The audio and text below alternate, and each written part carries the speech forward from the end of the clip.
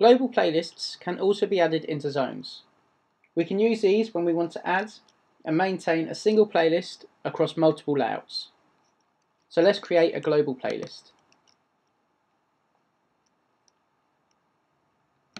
First we can give it a name and then edit its playlist items. Again we can have a variety and as many playlist items as we like. So for this global playlist we're going to have a date widget, a piece of text and an image. So let's add those.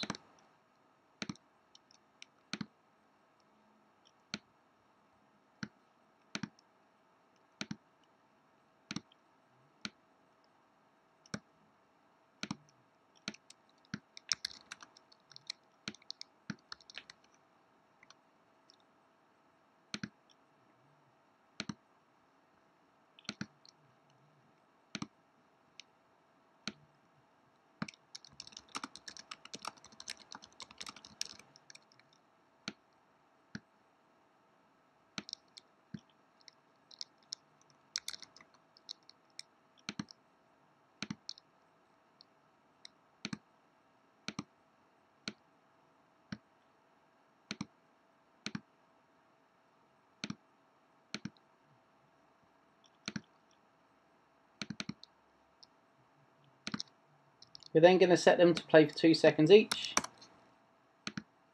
and fade to the next one. As you can see, our playlist consists of a date, an image and a piece of text. Once we're done, we can click Finish Editing.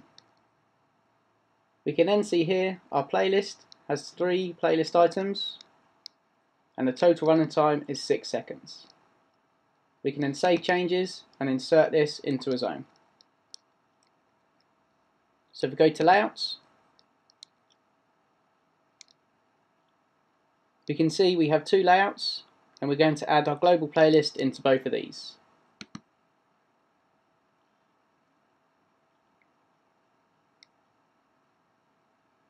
first we select our zone and then insert our global playlist.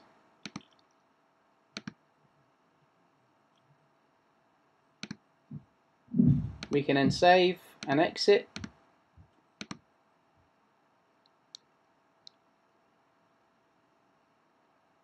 And insert it into our second layout.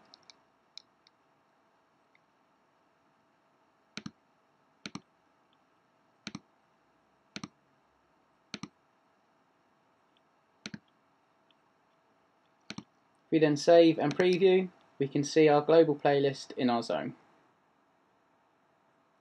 So our date will play for two seconds, fade to our picture that will play for two seconds, and then fade to our text.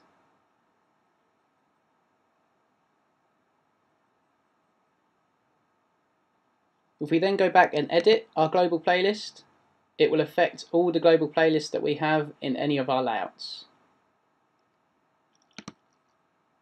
So if we were to add another image,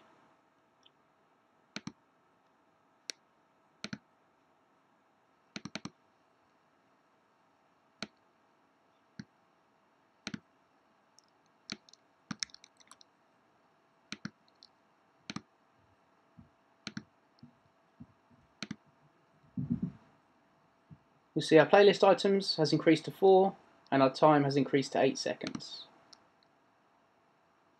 We then save changes and preview one of our layouts.